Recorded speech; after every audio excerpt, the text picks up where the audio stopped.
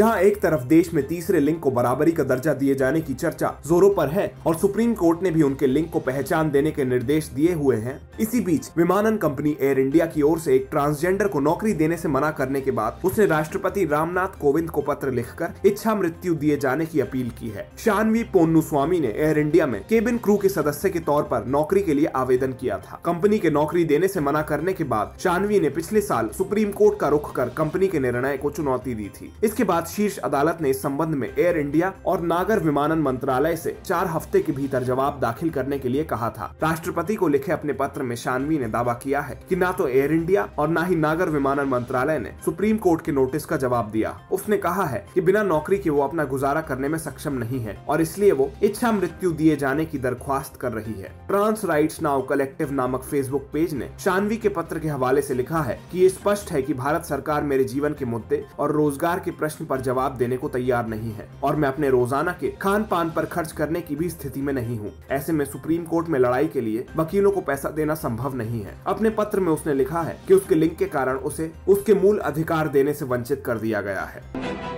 देश और विदेश की हर तरह की न्यूज़ को हिंदी में सबसे पहले देखने के लिए हमारे चैनल लोकमत न्यूज़ हिंदी को सब्सक्राइब करना ना भूलें।